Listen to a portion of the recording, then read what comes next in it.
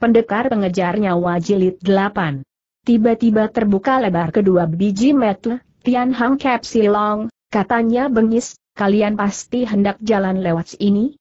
Apakah hendak menemui Chiu Ling Shok melonjak jantung Choh Liu Hiang, orang asing ini kiranya pun tahu akan nama Chiu Ling Shok. Dilihatnya Lam Kiong Ling mengerutkan alis, katanya, Chiu Ling Shok, Apakah maksud Chiam Pue adalah Jin Hujin hektometer Tian Hang Kep Silang menjawab dengan geraman. Chiam Pue kenal sama dia tanya Lam Tiong Ling pula. Tiba-tiba Tian Hang Kep Silong menengadah sambil terbahak-bahak keras, tawa yang mengiriskan bergema dan menggetarkan bumi sampai daun-daun pohon sama rontok berjatuhan. Choh Liu Hiang dan Lam Tiong Ling saling berpandangan, mereka tidak tahu apa yang menjadi buah tertawaan orang. Terdengar Tian Hang Kep Silong berkata sambil tetap tertawa, kau tanya aku kenal tidak padanya? Karena dah aku terima dihina dan dipermainkan oleh Jin Jip, dengan dendam dan penuh penyesalan aku kembali ke Tangni, aku bersumpah satu hari Jin Jip masih hidup, aku takkan menginjak kakiku di Tionggoan, demi kebahagiaannya, aku terima sekali pukulan Jin Jip, tanpa membalasnya. Karena dia sampai sekarang aku masih membujang. Dan sekarang, kau malah tanya aku apakah mengenalnya Choh Liu yang melongot, sungguh tak pernah terpikir olehnya, pendekar dari Iho di Jepang ini, ternyata ada sangkut pautnya dengan permainan asmara antara Jin Jip suami istri, lebih tak terkira pula bahwa laki-laki aneh yang berdarah dingin ini, kiranya juga mengenal asmara. Betapa mendalamnya cintanya terhadap Chiu Ling Siok, agaknya tidak kalah tebalnya dari Cabok Hap dan lain-lainnya. Kecuali Cabok Hap Sebun Jian, Cheo Ye Uchin dan Ling Chiu Chu, orang ini adalah yang kelima. Kelima orang sama-sama tergila-gila terhadap satu perempuan, rela hidup menderita selamanya dengan membujang.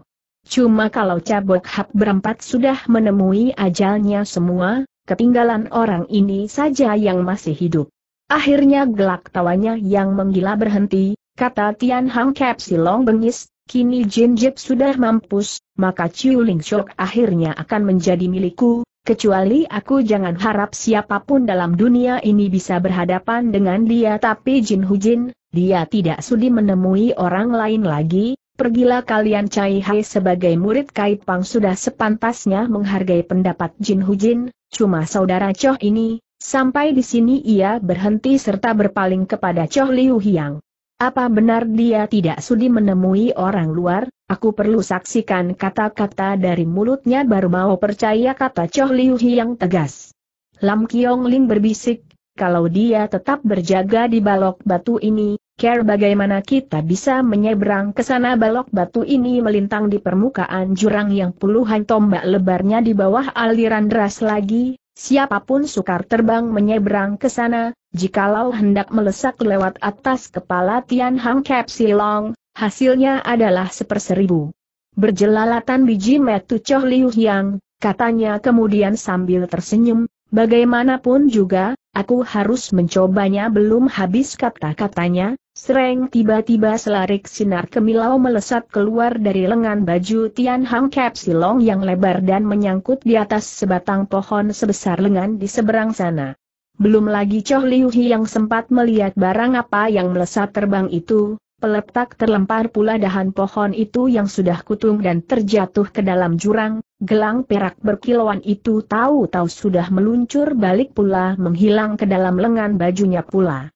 Memang ada ratusan macam senjata rahasia yang dipakai oleh tokoh-tokoh bulim di Tionggoan ini, di antara mereka tak terhitung banyaknya merupakan tokoh-tokoh yang termasuk ahli dalam permainan senjata rahasia tunggal sendiri, namun gerak-gerik Tian Long si Cap Long ini jauh berlainan dengan kepandaian orang lain, gelang terbang yang kemilau perak itu, kelihatannya jauh lebih hebat, aneh dan luar biasa, kelihatannya seperti hidup dan terkendali di waktu terbang berputar, kepandaian dari Iho, memang jauh berlainan dari yang lain seru Choh Liu Hiang. Tian Hang Kep Silong menyeringai dingin, katanya bangga, inilah si Kian Sut, salah satu rahasia dari kepandaian sembilan Jin Sut. Kalau aku tidak kenal belas kasihan, bagaimana kalau batang pohon itu adalah lehermu? tidak lekas kau enyah dari sini si Kian Sut? Menakutkan benar namanya, cuma pohon itu barang mati, manusia tetap hidup, memangnya aku terima mengulurkan leher untuk kau jirat sampai mati kau ingin mencoba damprat Tian Hang Kep Silong. Di tengah bentakannya, selarik sinar kemilau tahu-tahu sudah melesat ke arah Choh Liu Hiang. Terasa sinar kemilau ini menyilaukan mata, sebuah sinar membundar seperti paru elang laksana kilat menerjang tiba, daya luncurannya jauh lebih cepat dari apa yang dia bayangkan semula. Tapi sebat sekali ia menggeser kedudukan tujuh kaki ke samping, tak nyana sinar perak itu ternyata seperti hidup, seperti bayangan mengikuti wujudnya, tahu-tahu mengejar tiba pula. Beruntun Choh Liu yang bergerak bagai kilat tujuh kali berkelit, namun pandangannya serasa ditutupi bayangan perak yang berkelebat rapat dan kencang, sehingga ia kehabisan akal entah care bagaimana untuk menyelamatkan diri.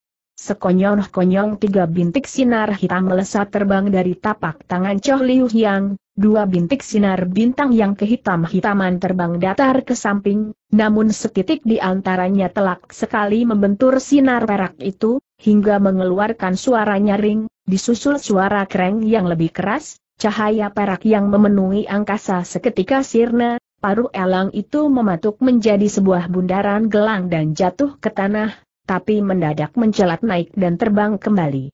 Berubah gusar air muka Tian Hang Kep Silong, bentaknya, Bagro, berani kau pecahkan sikian sutku, baik, Coba kau lihat pula Tem Sim Sut Ki sekoyong-konyong sebuah tabir kabut tebal warna abu-abu laksana gelombang pasang menerpa datang. Di tengah kabut tebal ini lapat-lapat seperti diselingi selarik sinar bintang yang gemerlapan.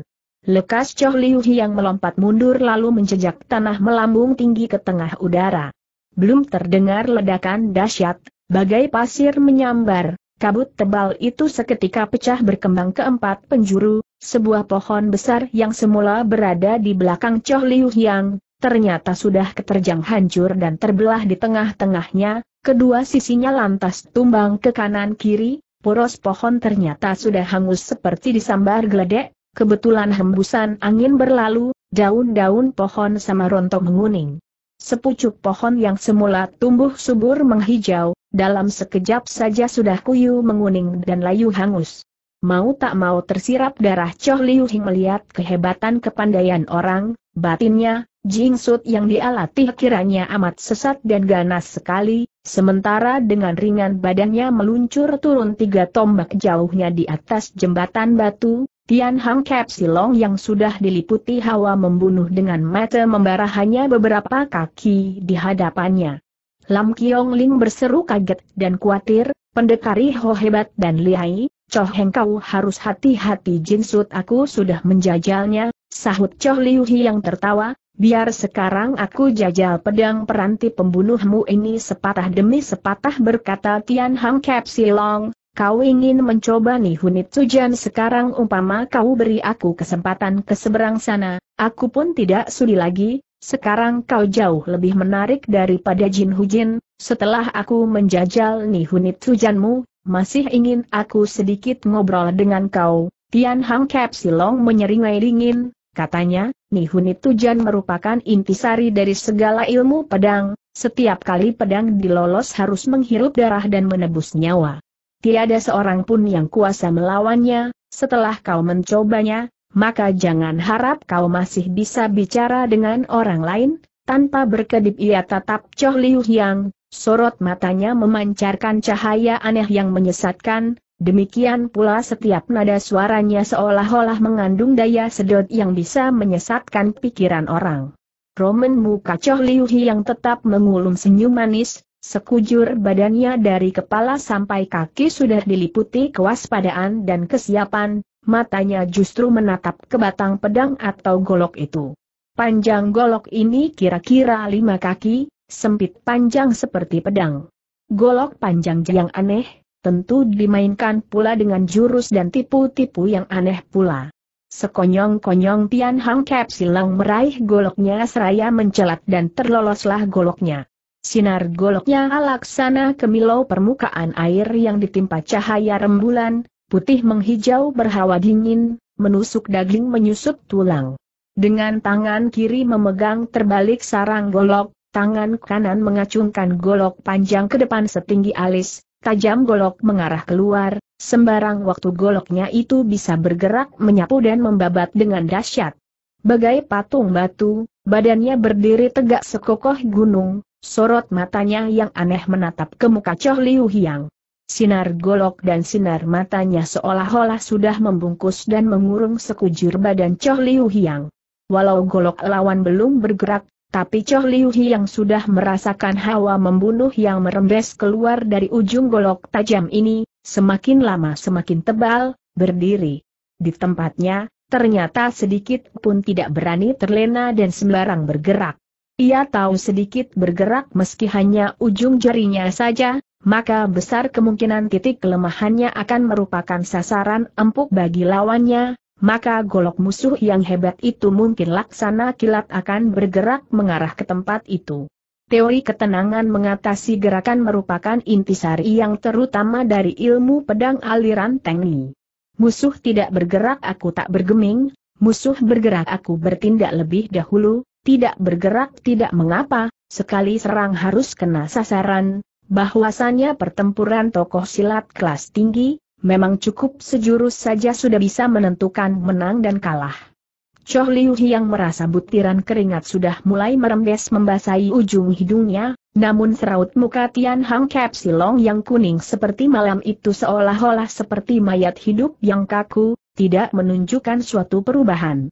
Mendadak kedua bakiak kayu itu mencelat jatuh ke dalam jurang, lama dan lama sekali baru terdengar suaranya yang membalik dari kedua bakiak yang kecemplung ke air. Bakiak itu mencelat jatuh ke air karena tertendang oleh kaki Tian Hang Kep Silang yang menggeser maju sebelah kakinya. Selangkah demi selangkah Tian Hang Kep Silang mendesak maju. Mau tidak mau Choh Liu yang harus ikut bergerak, namun ia tidak tahu care bagaimana dirinya harus bergerak. Telapak kaki Tian Hang Kep Silong yang telanjang menggesek balok batu yang kasar selangkah demi selangkah menggeser maju, kulit tapak kakinya sampai tergesek pecah, di permukaan balok batu ketinggalan noda darah yang merembes keluar. Tapi sedikit pun ia tidak merasakan sakit. Seluruh pikiran, semangat dan perhatiannya, ia tumplek di atas batang goloknya, sedikit pun ia tidak peduli atau tidak merasakan adanya sesuatu yang bergerak di kehidupan maya pada ini, kalau kakinya menggeser dan badannya bergerak maju, namun batang goloknya tetap teracung ke depan tanpa bergeming sedikit pun. Pada saat itulah segulung angin kencang, tiba-tiba menerjang ke pinggang Choh Liu Hiang. Seluruh perhatian Choh Liu yang tertuju pada batang golok lawan, mimpi pun ia tidak menduga orang akan menyerang lebih dulu menggunakan sarung pedangnya, saking kejutnya mau tidak mau secara refleks sebat sekali ia berkelit mundur. Tapi bertepatan dengan itu pula, Tian Hang Kep Silong melolong keras dan lantang, golok di tangannya melebihi kilat cepatnya tahu-tahu sudah membabat dan membacok. Agaknya dia sudah perhitungkan jalan mundur Choh Liu Hiang, sudah memperhitungkan bahwa Choh Liu yang terang takkan bisa mundur lagi, memang serasi benar sambaran senjatanya ini, kalau dinamakan pedang berantai pembunuh. Babatan goloknya kelihatan gerakan biasa dan sepele saja, tapi intisari ilmu pedang, kecerdikan otak di saat menghadapi musuh tangguh, batas tertinggi dari manusia akan ilmu silat yang dipelajarinya, boleh dikata sudah termasuk dan terkandung di dalam sejurus babatan golok panjang ini. Sorot metle, Tian Hang Kep silang membara merah. Pakaian yang dikenakan pun tiba-tiba melembung dan melambai-lambai dipenuhi tenaga murni yang merembes keluar dari seluruh pori-pori kulit badannya. Babatan golok ini harus membunuh, betapapun ia tidak bisa memberikan kelonggaran. Apa benar nih Hunit Tujan tiada tandingannya di seluruh kolong langit? Di mana sinar golok menyambar badan Choh Liu Hiang pun terjungkal roboh. Untuk mundur tidak mungkin, berkelit pun tak bisa, terpaksa ia terjunkan diri ke dalam jurang dari atas balok batu itu. Jiwanya memang tidak mampus oleh babatan golok, namun apakah dia masih bisa bertahan hidup terjatuh ke dalam jurang yang dalam serta aliran air yang demikian derasnya? Lam Kiong Ling terbelalak dan berseru kaget. Siapa sangka belum lagi suaranya hilang dan mulut sempat terkatup. Bayangan Choh Liu yang tiba-tiba sudah melesat mumbul ke atas pula. Kiranya meski badannya terjungkal ke bawah, namun ujung kakinya masih menyangkut di bibir batu, begitu sambaran golok lewat ia lekas kerahkan tenaga pada ujung kakinya dan dengan seonteng burung camar badannya mencelat naik empat tombak, Kini badannya menukik menubruk langsung kepada Tian Hang Kap Silong. Kalau dia sengaja berdiri di atas balok batu, kelihatannya sengaja menempuh bahaya, padahal siang-siang dia sudah memperhitungkan jalan mundurnya, jauh sebelum bergebrak, dia sudah memperhitungkan setiap macam kemungkinan yang bakal terjadi, maka begitu badannya terjungkal balik, ia serta-merta menjelat naik ke atas, bukan saja sudah mengerahkan segala tenaga, kecerdikan dan kehebatan ginkangnya, termasuk pula kepintaran dan pengalaman luasnya dalam menghadapi bahaya dan musuh-musuh tangguh, meski hanya satu jurus mereka bergerak, namun pertandingan ini sudah merupakan pertandingan ilmu silat dan kecerdikan otak yang tiada taranya. Begitu golok membabat Tian Hang Kap Silong sudah tiada sisa tenaga lagi, Pula betapa cepat reaksi Choh Liu yang menghadapi serangannya, serta tinggi ginkangnya, sungguh jauh berada di luar dugaannya. Di atas balok batu itu memang teramat bahaya, semula Tian Hang Kap Silong hendak menggunakan keuntungan berbahaya ini, siapa tahu ada untung pasti ada ruginya juga, kini situasi berubah 180 derajat, mau untung malah dia sendiri yang buntung sekarang. Dengan menukik dari atas ke bawah, serangan Choh Liu Hiang yang hebat ini, terang dia takkan mampu berkelit atau mundur lagi. Maka terdengar kreng goloknya membacok di atas balok batu, kembang api munkrat, namun Choh Liu yang sudah berhasil meraih rambut kepalanya, serunya sambil tertawa panjang, Chuan masih ingin ke mana, belum habis kata-katanya, seketika sirap pula gelak tawanya. Ternyata rambut yang berada di tangannya, hanyalah rambut palsu dan pada ujungnya kelihatan pula mengelupas selembar kedok muka yang terbuat dari lilin. Dilihatnya badan Tian Hang Kap Silong jumpalitan jungkir balik ke bawah jurang dan mendadak kering seutas rantai lembut melesat keluar dari lengan bajunya memaku ke dinding jurang. Badannya lantas bergelantungan pulang pergi beberapa kali mengikuti daya berat badannya lalu dengan enteng meluncur hinggap di atas tanah, sedikit pun tidak terluka apa-apa, malah kelihatan di antara riak gelombang air sungai yang mengalir deras itu bayangannya berlari bagai terbang. Serunya, Choh Liu Hiang, sudah kau saksikan Hong Siam Sut dari Iho, Bukankah amat hebat dan tiada bandingannya di seluruh jagat belum hilang gema suaranya, bayangannya sudah pergi jauh dan menghilang. Terpaksa Choh Liu yang hanya mengawasi bayangan Tian Hang Kap Silong pergi dengan pandangan melongot, dikejar pun tak akan tersusul, dirintangi pun tak bisa, lama juga dia mengawasi rambut dan kedok palsu di tangannya. Dilihatnya butiran air setetes demi setetes mengalir jatuh dari balik kedok palsu itu. Mendadak Choh Liu yang tertawa lebar, apa pun yang terjadi, aku sudah bikin keringatnya gemerobos, kukira raut mukanya sudah kaku sampai pun tak bisa mengeluarkan keringat, ternyata kedok ini yang buat gara-gara, baru sekarang Lam Kiong Ling memburu datang, katanya tertawa, kepandaian silat dari Ihoka benar-benar ganas dan berbahaya, luar biasa pula, kalau bukan Gin Kang Cho Heng yang tiada bandingannya di seluruh jagat ini, Hari ini kukira siapa takkan bisa lolos dari babatan golok selihai itu, Choh Liu yang menatapnya bulat-bulat, tiba-tiba ia tertawa pula, kepandaian silatnya memang ajaran dari Iho, tapi dia orang Tionggoan bukan dari Iho.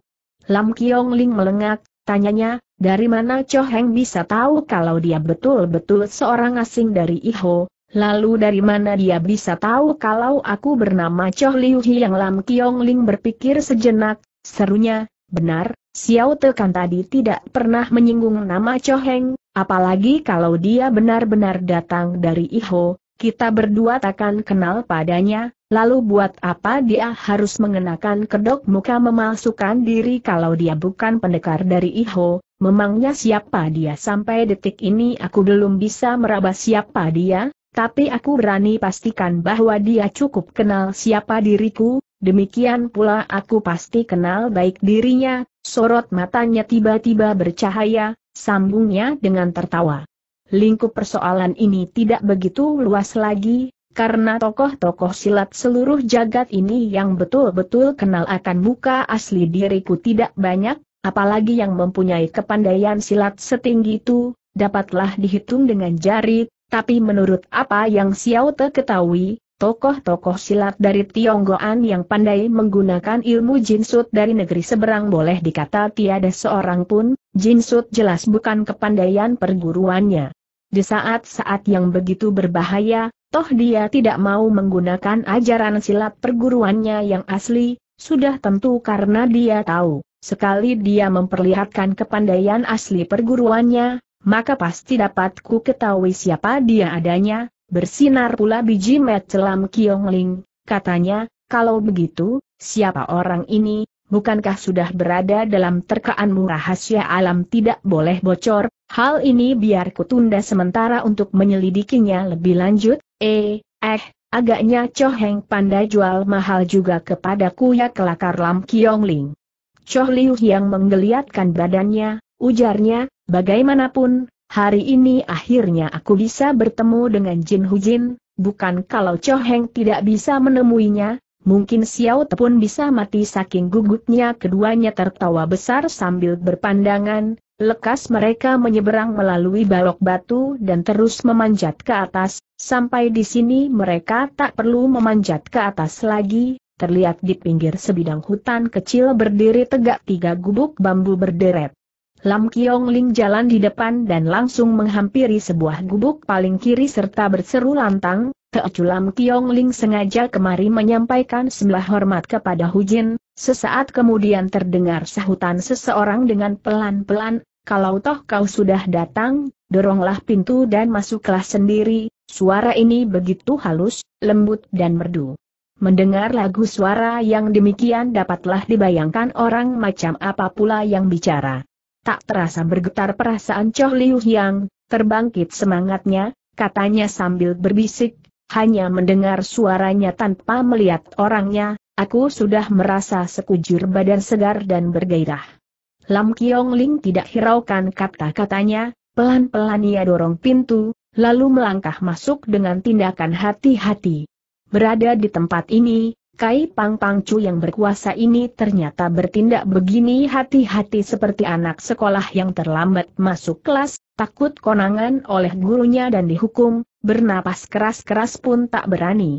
Pintu gubuk yang terbuat dari anyaman daun nyur ini semula memang setengah terbuka, dari sela-sela pintu yang terbuka ini mengepul keluar asap dupa, di atas pohon beringin yang besar itu bertengger seekor burung yang tak ketahuan namanya, agaknya sedang tertidur.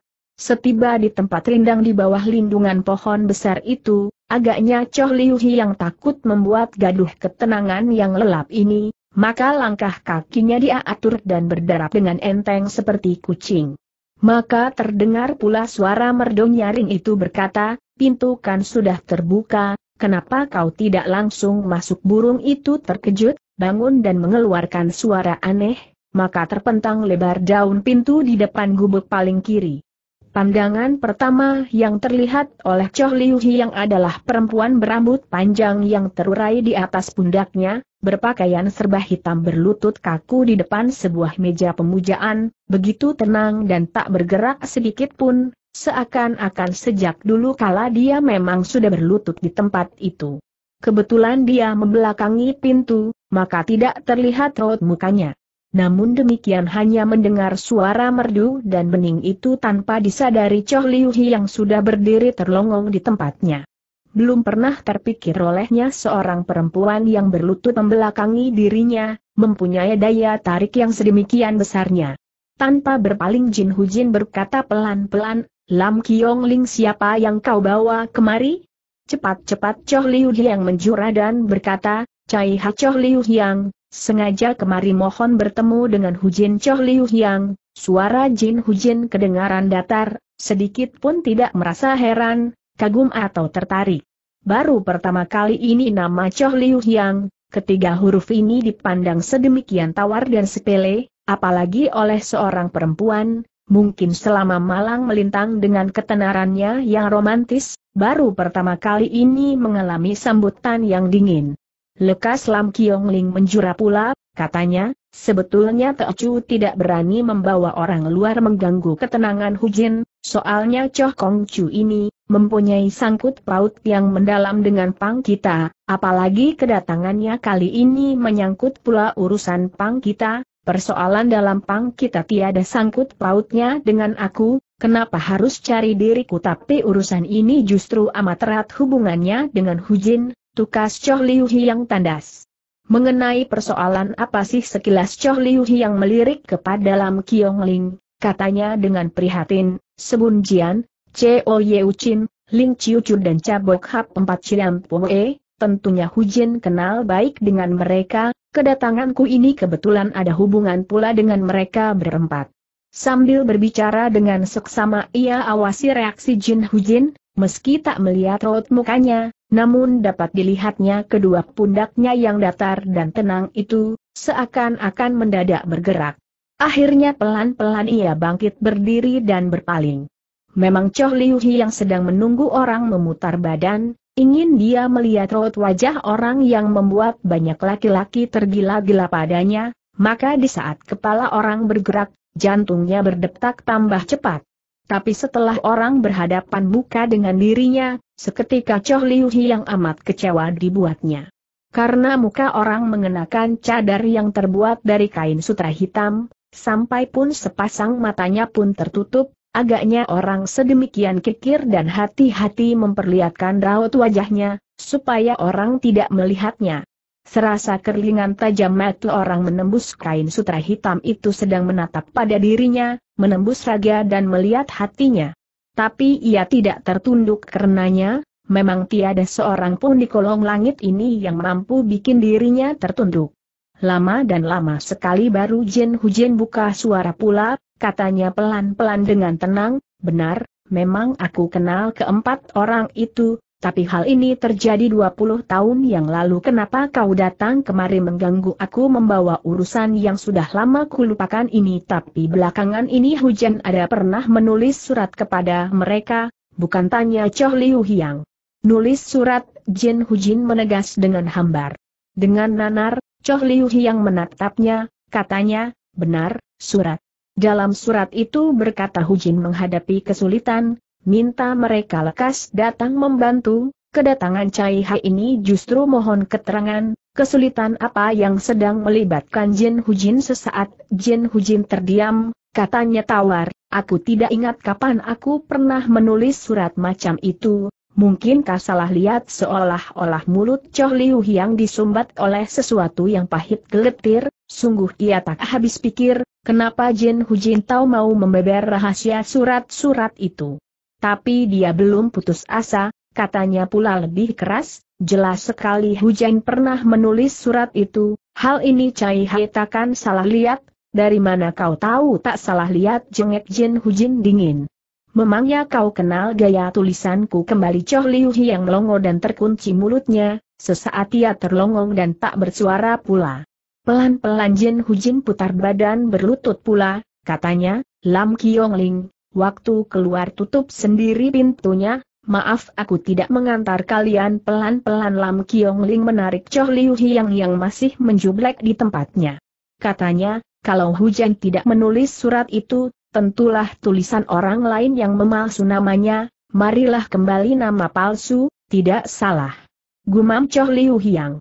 Tiba-tiba sorot matanya tertuju ke atas meja pemujaan, tanyanya, apakah jenazah Im Lo Pangcu diperabukan? Belum Jin Hujin menjawab, Lam Kiong Ling sudah mendahului, semua murid Kait Pang setelah meninggal harus diperabukan, itulah aturan turun-temurun sejak dahulu, Ternyata Jin Hujin mendadak nimbrung, kau pun tak perlu menyesal, suamiku almarhum sekian tahun disiksa penyakitnya, rebah di atas ranjang, mendadak meninggal, tidak banyak orang yang bisa berjumpa dengan beliau. Lekaslah kau pergi saja mendadak bersinar biji matu Choh Liu Hiang, sahutnya, terima kasih Hujin, tiada sesuatu bantuan yang kuberikan kepadamu, tak perlu kau berterima kasih kepadaku, Choh Liu yang mengiyakan sambil mengundurkan diri, sementara dalam hatinya ia sedang menerawang dua patah kata-kata Jin Hujin yang terakhir. Kedengarannya kata-kata itu biasa dan umum, bahwasannya mengandung arti yang mendalam sekali. Tanpa banyak bicara mereka kembali melalui jalan semula, agaknya Lam Kiong Ling tahu perasaan Choh Liu Hiang, maka ia tidak mengganggunya, ia iringi orang berjalan pulang. Setiba di Kilam, sudah tengah malam hari ketiga. Baru sekarang Lam Kiong Ling berkata sambil menghela napas, pulang pergi sejauh ini tentu bikin Cho Heng letih, Xiao Te pun amat kecewa sekali. Memang aku sendiri yang suka urusan, malah kau ikut menemani aku pulang pergi, sepantasnya aku traktir kau minum dua tiga cawan arak, sekali menemani Cho Heng minum arak, paling tidak harus mabuk sampai tiga hari, lebih baik Choh Heng ampuni aku kali ini saja. Memang Choh Liu yang mengharap orang lekas pergi saja, katanya tertawa besar, baik kali ini kuampuni kau, lekaslah kau pergi, kalau tidak ku seret kau pergi minum arak lo. Belum habis ya bicara Lam Kiong Ling sudah bersoja dan tinggal pergi sambil tertawa tergelak-gelak. Begitu Lam Kiong Ling menyingkir, lekas Choh Liu yang menyusul ketua Bing Ou. Kali ini tanpa banyak mengeluarkan tenaga, ia berhasil menemukan mutiara hitam, begitu dirinya muncul, biji met mutiara hitam seketika berkilauan, bergegas ia melompat bangun di atas sampannya, tanyanya, kau sudah bertemu dengan Chiu Ling Siok walau ada orang berusaha merintangi perjalananku, akhirnya aku berhasil menemuinya juga, apa benar dia sedemikian cantiknya? Kenapa kau bersikap seperti perempuan, tidak tanya apa yang telah kubicarakan dengan dia, malah tanya kecantikannya lebih dulu. Sayang dia mengenakan cadar, aku sendiri pun tak melihat raut mukanya, agaknya mutiara hitam jauh lebih kecewa dari Choh Liu Hiang, katanya menghela napas, apa saja yang ia katakan katanya dia tidak ingat kapan dia pernah menulis surat itu, apakah bukan dia yang menulis surat itu? Kalau dia yang menulis surat itu, pasti dia sudah tahu kalau Sebun Jian dan yang lainnya sudah aja lantaran dia, masakah dia menipuku? Memangnya dia tidak suka bila aku bantu dia membongkar rahasia ini mutiara hitam terlongong sekian lamanya, gumamnya, tidak salah, memang tiada alasan dia membohongi kau, tapi, mendadak ia pegang tangan Choh Liu Hiang, teriaknya, katamu, dia menggunakan cadar hitam, bukan Choh Liu yang mengiyakan dengan mengut-manggut. Bukan mustahil yang kau temui bukan Chiu Ling Shok? Tapi samaran orang lain tidak mungkin orang lain menyamar dirinya kau sendiri tidak melihat raut mukanya, dari mana kau bisa tahu kalau dia bukan tiruan mukanya memang tidak kulihat, namun lagu suaranya, gerak-geriknya serta tutur katanya, dalam dunia ini siapa yang mampu meniru dia? Apalagi, bila dia tiruan, tentulah takkan ada orang yang berusaha merintangi aku, supaya aku gagal menemuinya, kalau demikian, Bukankah rahasia ini takkan bisa dibongkar oleh siapa pun dalam pandangan Choh Liu Hiang, selamanya tidak pernah ada pengertian takkan bisa segala, dalam matamu ada nama apa? Mungkin hanya ada suka mengagulkan diri belaka jengek mutiara hitam. Tanpa hiraukan kata-kata dan sikap orang, Choh Liu Hiang celingukan kian kemari, tanyanya, orang yang kupesan kepadamu untuk memperhatikan kedatangannya itu, Masakah belum tiba? Sudah pernah datang? Kah sudah melihatnya, di mana dia? Sudah mati? Jawabnya dengan ringan, namun bagi pendengaran Choh Liu yang laksaan halilintar menyambar kepalanya. Kontan ia berjingkrak sambil mencengkeram pundak mutiara hitam, teriaknya, apa katamu? Kataku dia sudah terbunuh oleh orang, kau, kau melihatnya sendiri, kau diam saja melihat dia dibunuh orang kau, memangnya kau tidak punya perasaan teriak Choh Liu Hiang dengan suara serak. Pundak mutiara hitam hampir saja termas hancur, namun ia kertakan gigi menahan sakit, bergeming atau mengeluh pun tidak. Sinar matanya berkaca-kaca seperti berlinang air mata, sebaliknya mulutnya masih berkata dengan dingin, kalau tidak kulihat memangnya kenapa? Kau, kau tidak minta aku melindunginya, apalagi hakikatnya aku tidak kenal dia, mati atau hidupnya apa sangkut pautnya dengan aku Choh Liu yang melotot sekian lamanya, jari-jarinya akhirnya mengendor, badannya bergoyang gontai dan akhirnya mendeprok duduk di tanah. Soh Yang Yang ternyata sudah ajal. Anak perempuan yang begitu pintar, cerdik, lembut dan halus ternyata sudah meninggal. Sungguh dia tak mau percaya, tidak mau percaya bahwa di dalam dunia ini ada orang yang tega membunuh dirinya. Mata mutiara hitam yang bundar besar itu sedang menatap Choh Liu Hyang, katanya sambil menggigit bibir, apakah benar perempuan itu begitu penting bagi dirimu serak suara Choh Liu Hyang, selamanya kau tidak akan mengerti betapa penting artinya dia bagiku, aku rela diriku yang dibacok hancur oleh musuh, sekali-kali tidak akan kuizinkan orang bermain gila terhadap jiwanya. Mutiara hitam tertunduk sekian lamanya, mendadak ia angkat kepala dengan hati bergejolak haru, katanya membanting kaki, boleh kau bersedih akan kematiannya, tapi aku takkan ikut pilu karenanya, kau tiada hak membuatku ikut bersedih terhadap kematian seorang perempuan yang tidak ku kenal, benar tidak Choh Liu yang melompat bangun, kembali ia meremas pundak orang, serunya, benar, tak perlu bersedih karena kematiannya, tapi kau harus jelaskan padaku siapakah yang membunuhnya? Naik turun dada mutiara hitam, tak lama kemudian baru ia bersuara dengan nada berat, kemarin menjelang petang dia sudah tiba, dia berada di atas kapal sana itu, celingak-celinguk, sekali lihat lantas kau tahu dia orang yang kau tunggu, baru saja aku ingin menghampiri, tapi kau tidak mendekatinya, benar tidak? Kalau tidak diatakan mati dampar Choh Liu yang bengis. Belum algi aku melangkah ke sana, tahu-tahu datang empat orang menuju kapal itu, Keempat orang itu seperti sudah kenal baik dengan dia, mereka menyapa lebih dulu dan berbicara beberapa patah, kelihatannya dia pun melayaninya dengan tersenyum, bagaimana bentuk atau raut muka keempat orang itu segera Choh Liu yang mengesak. Jarakku dengan mereka cukup jauh, tidak keuliat jelas raut muka mereka, yang terang mereka mengenakan jubah panjang warna hijau mulus, dari kejauhan warnanya itu amat menyolok pandangan, dikala hendak mencelakai jiwa orang, masih mereka mengenakan pakaian yang menyolok, dalam hal ini pasti ada latar belakangnya yang sudah dimengerti, jengek Choh Liu yang dingin. Memang mereka sengaja supaya orang lain hanya memperhatikan pakaian mereka dengan sendirinya tidak perhatikan raut muka mereka, sebaliknya pakaian boleh sebarang waktu ditinggalkan dan ganti yang lain, kalau toh kau tahu akan hal ini, Kenapa tidak sengaja kau perhatikan, belakangan baru kuingat hal ini, toh waktu itu aku bukan dewa, mana tahu kalau mereka hendak membunuh orang apalagi lihat perempuan itu agaknya kenal dengan mereka, sudah tentu aku tidak terlalu ambil perhatian, care bagaimana mereka turun tangan kelihatannya mereka amat asyik dalam percakapan, maka tidak enak aku mengganggu mereka, Kulihat keempat laki-laki itu agaknya hendak mengajaknya pergi, namun digeleng kepala menolak. Keempat laki. Laki itu menggerakkan kaki tangan, bicara setengah harian, dia masih tetap geleng kepala sambil tersenyum, keempat orang itu menjadi kewalahan serempak besoja aaknya hendak mengundurkan diri. Bagaimana kelanjutannya desak Choh Liu yang tidak sabar.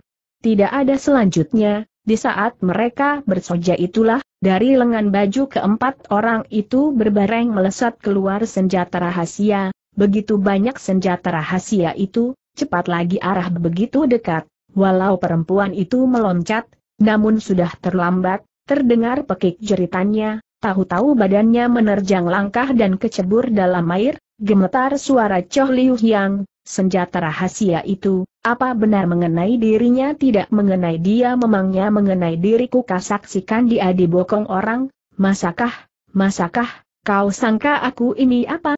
Memangnya aku ini patung kayu? Melihat dia terbokong sudah tentu amat terkejut, tapi waktu aku memburu datang, keempat laki-laki jubah hijau itu sudah menghilang entah ke mana, air darah masih bergolak dalam danau, namun jenazahnya tidak kelihatan mengambang naik tak menunggu orang bicara habis, Choh Liu yang sudah berkelebat terbang ke atas.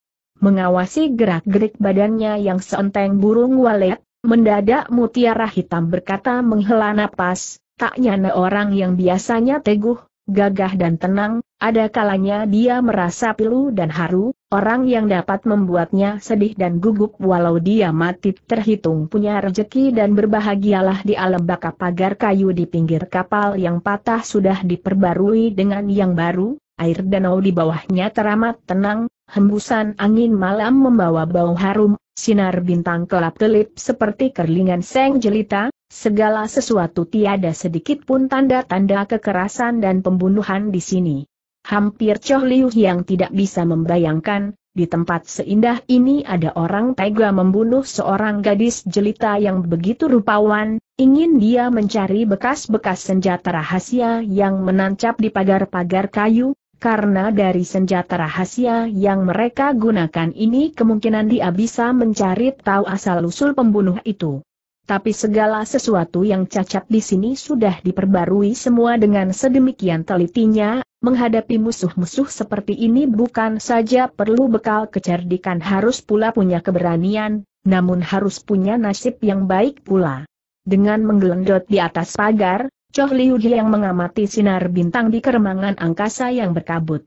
Mendadak sebuah sampan terkayu mendatangi dari tengah danau sana, di atas sampan duduk seorang kakek tua berbaju kasar dengan capin bambu yang rendah, dia sedang duduk mengisi cangkir minum arak, waktu tiba di pinggir Hang Ihtin beberapa kali ia melirik mengawasi Choh Liu Hyang, mendadak ia tertawa, serunya, anak muda, kalau ingin minum arak melampiaskan kepedihan hati, marilah silahkan naik ke sampanku ini menemani Lisio minum beberapa cangkir nelayan tua ini. Ternyata begitu supel dan senang begaul, Choh Liu yang mengelus hidung, sekali lompat ia hinggap di atas sampan, selamanya tidak tahu sungkan atau pura-pura, diraihnya cangkir dan poci, sekali tenggak ia habiskan secangkir arak. Katanya sambil langsurkan poci arak ke depan si nelayan tua, apalagi yang punya simpanan arak cukup banyak untuk membakar kepedihan dalam relung hatiku agaknya nelayan tua sudah biasa menghadapi para remaja yang banyak tingkah, ia angkat sebuah guci di sampingnya, sambil tersenyum sahutnya, hawa sejuk pemandangan seindah ini, kenapa saudara kecil berlinang air mata?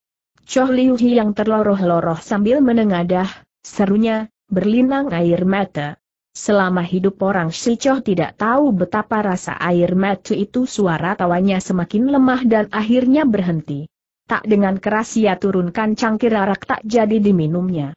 Dengan mendorong nelayan tua itu mengawasinya sekian lama, mendadak ia menarik napas panjang dan berkata rawan, adakah yang begitu sedih bagi diriku, seumpama aku betul-betul mati, apa pula halangannya Choh Liu yang berjingkrak bangun seraya menarik pundak si nelayan tua, teriaknya, Yong Yong kau, benarkah kau tak peduli sampan itu bakal terbalik?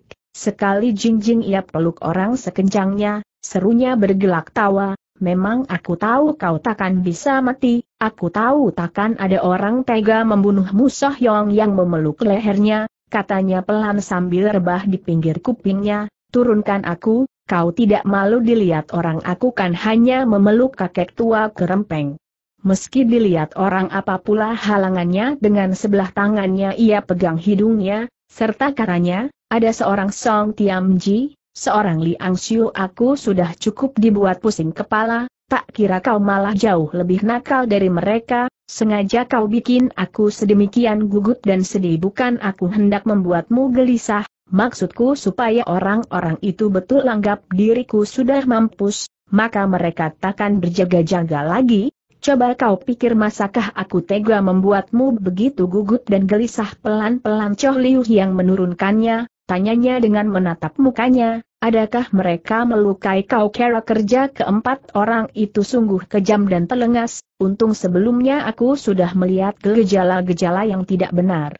Kalau tidak, kalau tidak mungkin aku tak bisa bertemu dengan kau lagi, terhadap orang seperti kau, mereka bisa menurunkan tangan jahat, pantas kalau mereka ku penggal kepalanya, lekas kau beritahu siapa mereka mana aku kenal mereka. Tapi kau ada bicara dengan mereka bukan kemarin aku sedang tunggu kau di kapal itu, mendadak datang empat orang, salah satunya tanya apakah aku Nona Soh, katanya mereka adalah murid-murid Chu Soapang, dikatakan pula bahwa kau yang suruh dia menjemput aku dia tertawa manis, lalu melanjutkan, tapi aku tahu, kau tahu bahwa aku menunggu di sini, Sekali-kali tidak mungkin suruh orang lain, kau tahu aku paling benci berhadapan dengan laki-laki asing yang tak ku kenal.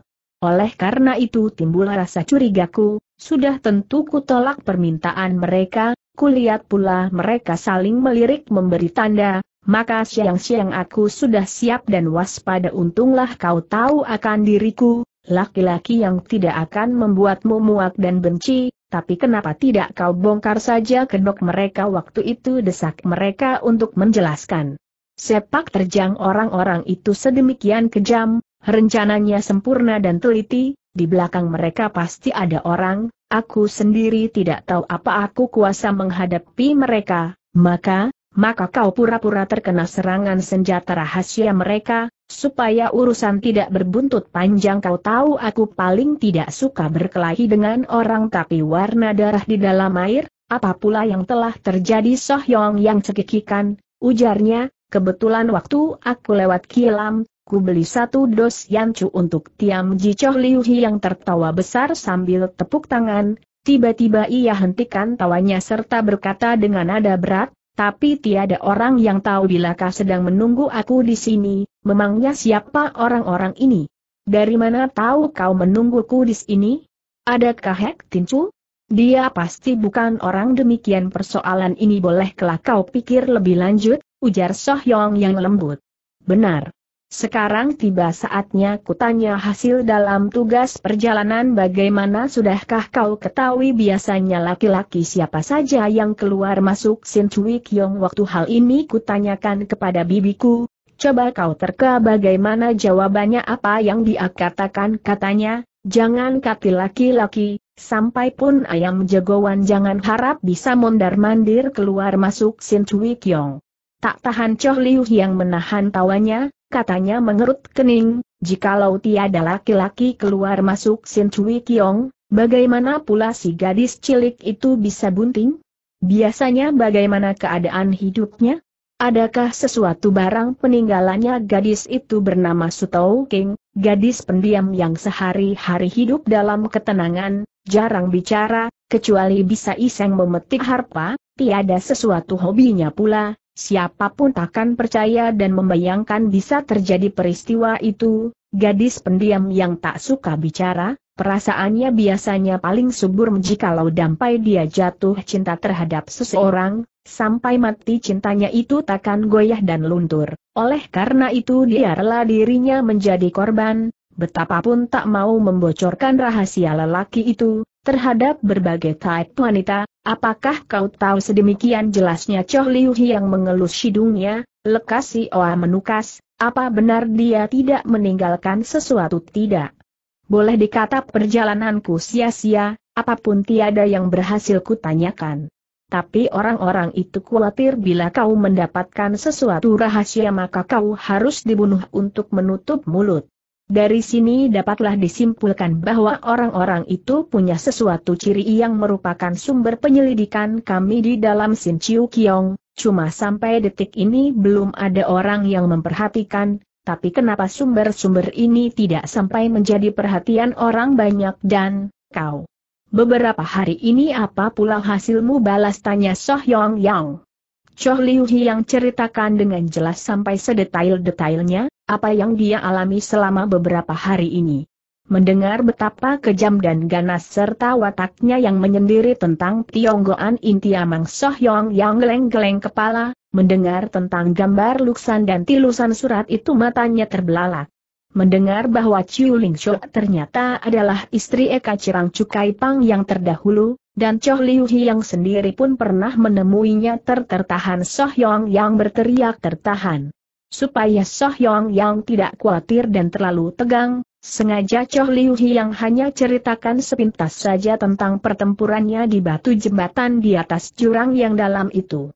tapi Soh Yong yang pun sudah terlalu tegang sampai mengepal kencang jari-jarinya karena gemetar, bukan saja ilmu silat orang itu tinggi, malah keji dan telengas pula, banyak akal muslihatnya, kau menghadapi musuh macam itu betul-betul harus waspada dan lebih hati-hati, satu persatu Choh Liu yang membuka jari-jarinya, yang terkepal itu, katanya lembut dengan tersenyum, tahukah kau orang lain sering berkata Choh Liu yang adalah manusia yang paling dikatuki di seluruh jagat ini? Seumpama orang itu amat menakutkan, masakah dia bisa menandingi Choh Liu Hiang? Choh Liu Hiang memang teramat tangguh sayang sanubarinya terlalu bajik dan lemah, orang lain tega membunuhnya, sebaliknya dia tidak tega melukai orang. Coba katakan care bagaimana aku takkan khawatir Choh Liu yang menepuk-nepuk tangannya, katanya tertawa, jangan khawatir untuk membunuh Choh Liu Hiang, bukan soal gampang, Soh Yong yang unjuk tawa manis, namun alis berkerut pula, katanya, coba kau pikir, Mungkin tidak ada orang yang menyamar jadi Tian Hang Kep adalah orang misterius yang membunuh Tian Jiang Sing Song Kang dan orang yang terjun ke danau itu memangnya dia. Jikalau terkaanku tidak salah yang membunuh Cabok Hap, Choye Uchin Ling Chiu Chu dan Sebun Jiam Pandia, orang yang mencari Tianit Sin Chui dari Sin Chui Kiong, tentulah dia pula begitu besar hasratnya hendak membunuh kau, berusaha merintangimu menemui Jin Hujin Chai Uling Siok, sungguh tak nyana Chai Uling Siok tidak mau bicara apa-apa bukankah segala usahanya itu sia-sia? Belaka mendadak Choh Liu yang unjuk senyum lebar katanya, Chai Uling Siok masih mengucapkan beberapa patah kata yang amat penting artinya. Apa katanya? Dengarlah dengan seksama, dia berkata, kau pun tak perlu menyesal, suamiku almarhum sudah rebah berpenyakitan beberapa tahun, mendadak meninggal orang-orang dapat menemui beliau tidak banyak jumlahnya. Soh Yang Yang berpikir sejenak, katanya, aku tak bisa meraba beberapa patah kata itu mengandung arti yang amat penting apa coba kau pikirkan secara seksama. Pasti kau dapat simpulkan kembali Soh Yong yang ulangi beberapa patah kata-kata itu. Akhirnya sorot matanya bersinar katanya, aku tahu sekarang, kalau Jin Lo Pangcu itu sudah lama berpenyakitan di atas ranjang, mana mungkin bisa mati secara mendadak, murid-murid Kaipang mereka, kalau toh tahu bahwa Pangcu mereka sakit menjelang ajal, sudah sepantasnya selalu menjaganya dan merawatnya dengan beliau hanya terbatas beberapa orang saja, begitulah seru Choh Liu yang tepuk tangan. Kedengarannya beberapa patah kata itu biasa saja, namun satu sama lain saling bertentangan, Jin Hujin itu memang berotak cerdik. Coba kau pikir kenapa dia mengeluarkan kata-kata yang saling bertentangan ini?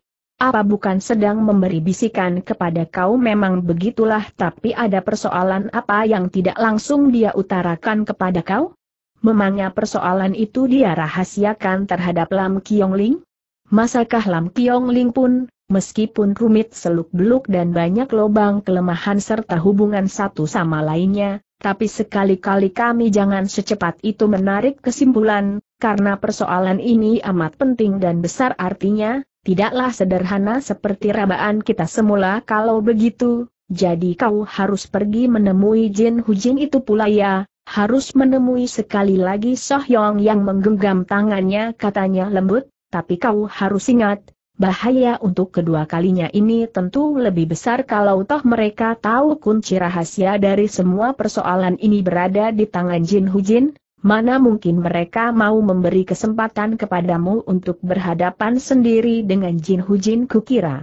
Sementara mereka takkan mengira bahwa aku pergi menemui Jin Hujin lagi, maka perjalananku kali ini lebih cepat lebih baik kalau terlambat bahayanya tentu semakin besar, sekarang mereka paling baru membokong dan menyergap kau, tapi bilakah sudah hampir membongkar kedok rahasia mereka, pasti mereka bakal menggunakan segala care untuk menghadapimu, kalau hendak memancing ikan besar, sudah tentu berani memberi umpan yang besar pula. Mana kau, kau sendiri hendak menjadi umpan itu untuk memancingnya keluar terasa oleh Choh Liu yang jari-jari tangan Soh Yong Yang yang menggenggam tangannya dan gemetar, maka tangannya yang hangat dan kokoh ia balas menggenggam, katanya tertawa, umpan ini memang terlalu besar, betapapun besar ikan itu takkan bisa menelan fabulat-bulat, kau tidak usah khawatir, dengarkan saja kataku, lekas kau pulang kemudian lemparlah botol-botol araku ke dalam laut biar dingin, suruh pula Tian Ji menyediakan beberapa ekor ayam, dalam lima hari mendatang, Pasti aku sudah pulang dan menggasak habis semuanya Soh Yong Yeong menatapnya dengan mata berkaca-kaca, namun biji matanya memancarkan sinar terang dan lembut hangat laksana bintang kejora. Akhirnya ia tertawa lebar dan katanya, sudah tentu kau bisa pulang, dalam dunia ini siapa yang mampu merintangimu di atas dunia ini, tiada sesuatu yang lebih menggairahkan daripada raut muka seorang jelita dan keyakinannya, Waktu Choh Liu yang tiba di atas daratan, terasa tenaga segar semangat bergairah. Soh Yang Yang memang seorang gadis penurut. Gadis yang jelita yang pintar, ternyata masih dengar katanya, itulah kebahagiaan yang terbesar bagi seorang laki-laki. Dengan puas dan senang hati Choh Liu yang mengguman seorang diri, dunia ini sungguh tiada sesuatu yang menyulitkan diriku, terdengar seseorang menanggapi sambil tertawa, tapi apakah kau tidak menyulitkan dunia kehidupan ini belum hilang suaranya Bu Hoa tahu-tahu melayang turun, sikapnya yang agung suci senyumannya yang welas asih di bawah penerangan sinar bintang kelihatan demikian memukau seperti dewata dari langit. Choh Liu yang tertawa lebar, serunya, kukira hanya aku sendiri si kucing malam ini, tak nyana masih ada lagi. Masih ada dua, kata Bu Hoa. Waktu Choh Liu yang berpaling, dilihat Nva seseorang berdiri mematung di dalam Hang Ihting, sana pakaian hitamnya kelihatan mengkilat ditimpa sinar bintang, siapa lagi kalau bukan Hek Tin Chu, entah lantaran apa pemuda yang aneh dan luar biasa itu tetap berdiri di sana, menjublek seperti orang linglung. Malam pertama di Toa Bing Ou, menyadiri di Hang Ihting Pinceng kira itulah Choh Heng, Waktu aku hendak ke sana tak kira Cho Heng sudah muncul di sini. Malam sudah selarut ini, tak kira kau masih ada selera pesiar ke tempat ini janji main catur dan minum arak tempo hari setiap waktu tak pernah terlupakan oleh Pinceng, memang sengaja aku kemari mencari Cho Heng untuk menepati janji, mana ada selera Cho Liu yang main catur minum arak segala. Tapi biji matanya berputar, tiba-tiba ia mendapat akal, katanya tertawa, untuk main catur kami berdua sudah cukup hendak minum arak perlu ditambah lem kiong ling lagi baru menarik. Kalau demikian, tiada halangan kami gedor rumahnya menjadi tamu tak diundang. Baiklah kau tunggu di sini sebentar biar ku gugah dulu sahabat yang sudah tertidur di sana itu, sebentar ku iringi kau ke sana tanpa menunggu jawaban Bu Hoa, badan Fa sudah berkelebat ke arah Hang Ich Feng, Dilihatnya Hek Tin Chu menjublek seperti patung tanpa bergeming, alisnya berkerut dalam seolah-olah ada sesuatu persoalan pelik yang merundung hatinya. Choh Liu yang tertawa, katanya, hanya kuda tidur sambil berdiri, Hek Heng kenapa meniru kuda? Hek Tin Chu tersentak sadar dan berpaling, sekilas itu terkandung banyak perubahan dari kerlingan matanya, namun suaranya tetap dingin, kalau Chuan ingin bercanda, lebih baik pergilah, kau mencari nelayan tua itu tidak jelek pandangan matamu, puji Choh Liu Hiang. Hek Tin Chu menengadah kepala tanpa hiraukan orang. Choh Liu Hiang tertawa besar, ujarnya, malam ini aku sudah ada janji tak bisa temani kau minum arak, biar dua tiga hari lagi kami berbincang lebih lanjut. Mendadak orang keluarkan kata-kata yang tiada juntrungannya ini keruan Hek Chin Chu terheran-heran, Baru saja ia hendak umbar waktunya tiba-tiba Choh Liu yang menekan suara berbisik dengan cepat, bawa kudamu dan tunggu aku di luar pintu selatan soal ini menyangkut urusan penting bisa tidak membongkar rahasia keseluruhannya tergantung dari kerjasama kami ini. Di saat Hek Tin Chu masih terlongong, Choh Liu yang sudah putar badan sambil bergelak tawa tinggal pergi. Ada sementara orang, tanpa tidur tiga hari tiga malam tidak apa-apa tentunya Choh Liu yang termasuk di antara orang-orang itu, demikian pula Bu Hoa dan Lam Kiong Ling. Bahwasanya Bu Hoa tidak perlu mengetuk pintu, hakikatnya Lam Kiong Ling pun tidak tidur, kini dia sedang menghadapi araknya minum seorang diri seolah-olah memang sedang menunggu kedatangan mereka. Papan catur dengan biji-bijinya sudah tersedia di atas meja, demikian pula arak dan hidangan gegaresnya sudah siap di atas meja. Lam Kiong Ling tertawa, ujarnya, akhirnya, kali ini kami bertiga harus benar-benar menentukan menang kalah, Sebelum rebah tak berkutik siapa pun dilarang berlalu, entah bagaimana maksud Cho Heng kau kan tahu aku ini pemabukan yang takkan pergi sebelum tenggelam dalam air kata-kata, kenapa tidak kau tanya Bu Hoa, malah tanya aku sembari main catur dia tenggak araknya dengan lahap, sedemikian asyiknya seumpama dilecut dan dihajar pun dia takkan mau pergi. Lam Kiong Heng toh tidak tahu betapa asyiknya orang main catur, Sungguh suatu hal yang harus disesalkan, Lam Kiong Ling tersenyum, ujarnya, pemain catur harus peras otak main secara serabutan akan kalah, mana bisa dibanding kenikmatan seorang penonton yang bebas merdeka demikian Bu Hoa bicara pula, tiba-tiba dilihatnya Choh Liu Hi yang meletakkan sebiji caturnya di garis pinggir paling sudut. Berkerut alis Bu Hoa, katanya, teori catur sejak dulu kalah sampai sekarang, Pinceng pernah membacanya semua, belum pernah kulihat care permainan seperti ini, daerah bawah yang amat penting ini, apakah Cho Heng tidak perlu menjaganya bersambung ke jilid sembilan?